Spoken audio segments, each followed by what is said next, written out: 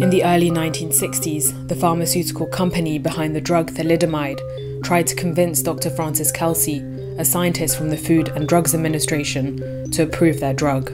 A stubborn stickler of a medical officer in the Food and Drug Administration, Dr. Frances Kelsey, she refused to approve sale of the drug in the United States. Thalidomide was eventually blamed for causing birth defects in tens of thousands of children around the world, with many more dying at birth. Thanks to the diligence of Dr. Kelsey and the FDA, children in the US were spared. The FDA has a tough job. It needs to ensure that drugs are safe. The decision it makes are life altering, in most cases for the best.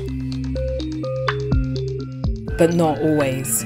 FDA failures have been blamed for contributing to the opioid epidemic. Oh, she's overdosed. And giving false hope to Alzheimer's patients by approving a costly and unproven drug. This is, in fact, a tremendous controversy in the scientific and medical world. Unlike the time when Dr. Kelsey worked at the FDA, the federal agency is now much cozier with the industry it is supposed to regulate. Pharmaceutical companies with lots of money and questionable practices from lobbying.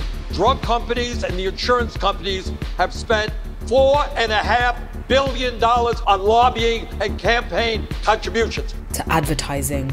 Ask your doctor if Myrbetriq is right for you. And price gouging. Everybody's doing it. it. In capitalism, you try to get the highest price for that you can for a product. Today, the FDA's mission is more critical than ever.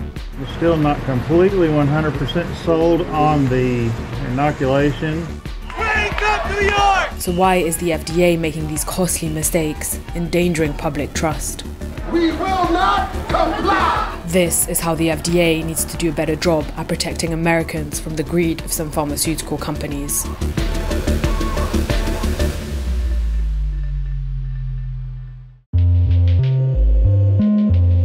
In 1995, Purdue Pharma released a powerful pain medication called OxyContin, downplaying the drug's addictive properties. Less than 1% of patients taking opioids actually become addicted.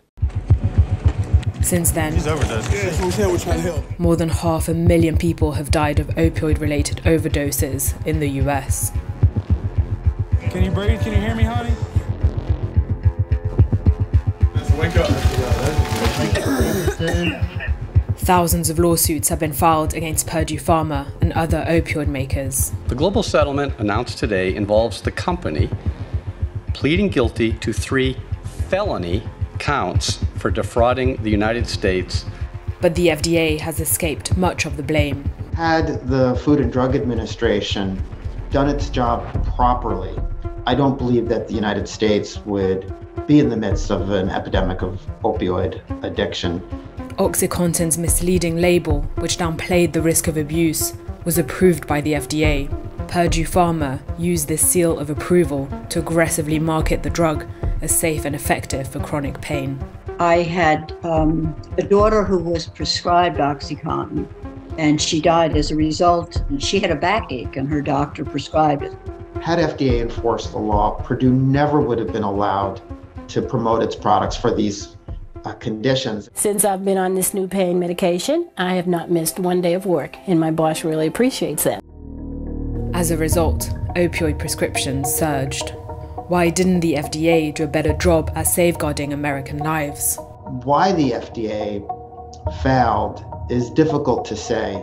You know, doctors across the country were hearing that patients are suffering needlessly because of an overblown fear of addiction and, and the compassionate thing to do is to prescribe opioids more aggressively. They don't wear out, they go on working, they do not have serious medical side effects. It's possible that some of the FDA officials were influenced by this same campaign, a campaign promoted by the pharmaceutical industry. And so maybe you could give some of these officials the benefit of the doubt in 2002, as the dangers of OxyContin became clearer.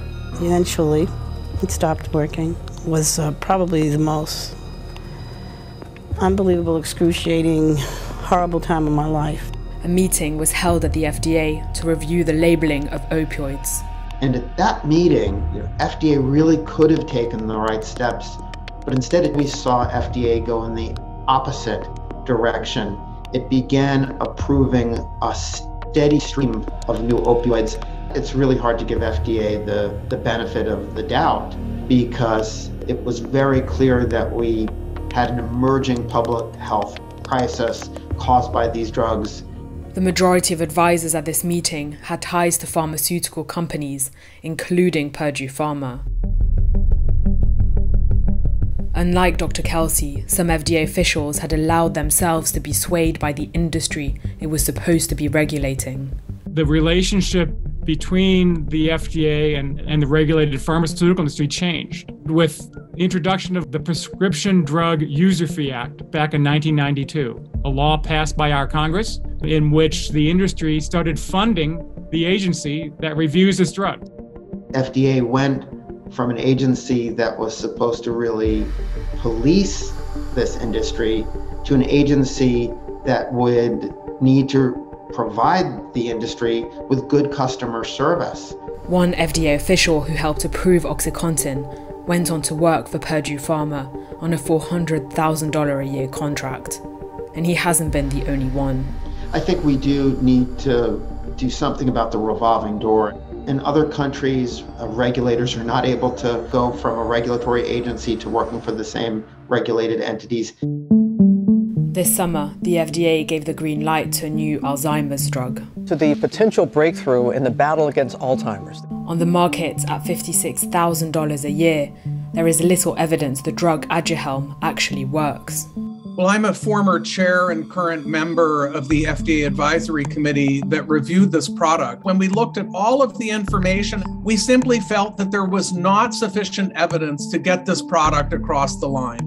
While the FDA usually rules in line with its advisory committee, in this instance, it didn't. And the next news I heard was that the FDA decided to approve it. It's an historic day for the company, and uh, I want to applaud the amazing job made by the, uh, all my colleagues. Biogen staff had worked hard to get this drug approved.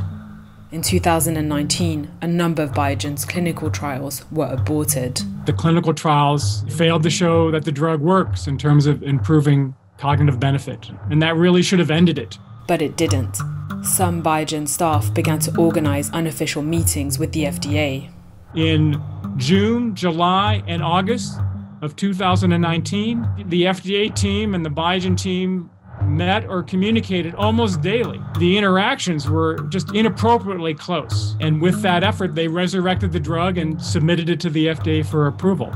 Once again, the pharmaceutical industry had succeeded in winning over FDA officials. Essentially, the FDA uh, rescued this product uh, from the jaws of defeat.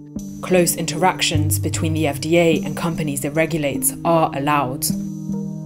But despite growing concerns, politicians haven't taken steps to limit these. Congress has encouraged those interactions, again, through various laws passed over the last three decades. The problem is the pharmaceutical industry is, is a big gorilla.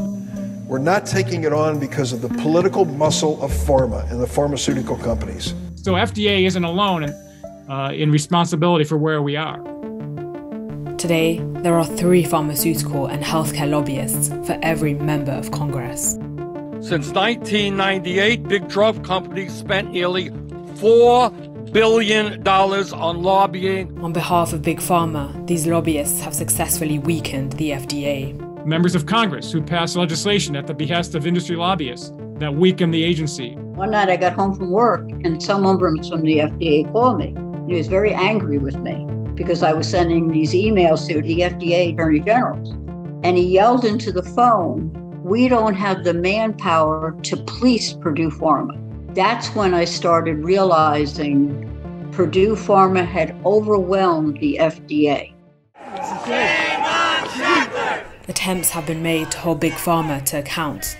In 2007, Purdue Pharma pleaded guilty to federal criminal charges for downplaying OxyContin's addictive properties. We hope that Purdue's guilty plea will send a message that the Department of Justice will not allow uh, Big Pharma to engage in illegal conduct that corrupts the doctor patient relationship. But unlike those who sell drugs on the streets, money has kept the Sackler family, who own Purdue Pharma, out of jail. They hired the Giuliani firm. Guess what? They didn't go to jail. just paid some fines. Purdue Pharma was recently dissolved in a bankruptcy settlement. Purdue has declared bankruptcy, but the Sackler family has not. They took $10 billion out of the company before it declared bankruptcy. Purdue Pharma and the Sacklers aren't the only ones in the industry driven by greed. How did the drug improve? If I were to look at a pill and analyze it from 2005 when it cost 215 and I was looked today at, at when it cost 763, would that pill be the same? The pill, the pill, the manufacturing for it would be the same.